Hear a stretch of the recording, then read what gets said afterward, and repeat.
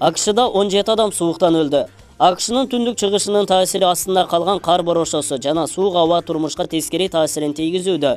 Нью йорк губернатору эндрю куомо кар жаашы жана муз тоңуудан улам аймакта чукул абалды жарыялады. Бомба борошосу деп билинген кар борошосу жана суук абадан улам мектептер менен мамлекеттик мекемелер жабылып эл мажбур болмоюнча тышка чыкпоо боюнча эскертилди катуу шамал жана кар жаашы таасирдүү болгон түндүк чыгышта миңдеген киши электрсиз жашап жатат. Аба шарттарынан улам үч миңден ашуун аба каттамы токтотулду жана кечигүүлөр болду нью йоркто жфк аэропортунда болсо каттамдар токтотулду өлкөнү таасири астына алган катуу сууктан улам акыркы бир жумада он жети кишинин каза болгондугу белгиленди булак назар ньюс арменияда кыргызстандык кыз экинчи кабаттан кулап кетти кырсык үчүнчү январда ереванда болгон котормочунун жоктугунан полиция кыргызстандык кыз менен сүйлөшө алган эмес кыргызстандык кыз еревандагы көп кабаттуу үйдүн экинчи кабатынан кулап кеткенин спутник армения агенттиги жазып чыкты.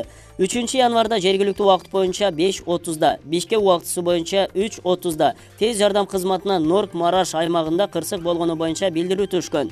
Жабыркаган кыздын бели кокустап сурп григор лусаворич медициналык борборуна алынып келинген. Кырсык болгон жерге келген полиция жабыркаган аял кыргызстандын жыйырма тогуз жаштагы тургуну экенин аныкташкан.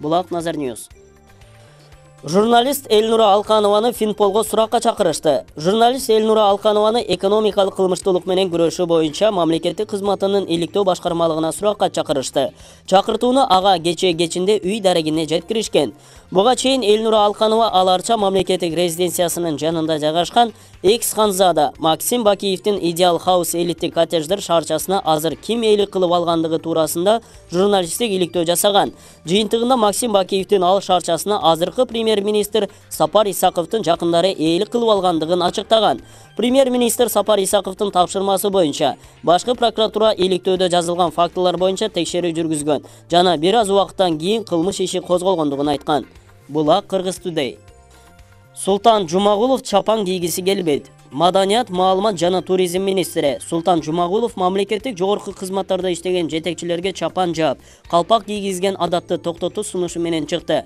Мекеменин басма сөз кызматы тараткан маалыматка караганда жумагулов бул тууралуу оюн жаңы жыл алдында маданият мекемелеринин биринин жетекчилерин куттуктап келип кийит кийгизген учурда айткан.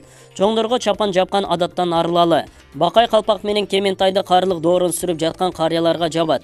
Экинчиден бул кийитке акча кетти. А сиздер айлыгыбыз аз көтөрүп бергиле деп өкмөттүн каалгаларын жыртып келе бересиздер го биз маданият адамдары башкаларга үлгү болушубуз керек да мага кийит менен эмес системаны оңдоо тууралуу алгылыктуу идеялар менен келүүңүздөрдү суранам деген жумагулов ооба кереги жок кийилбеген кийимдердин эмне кереги бар. Бирок кыргызда бирин бири сыйлоо эч качан калган эмес муну эл журт колдоор бекен деген суроо туулат булак назар ньюс.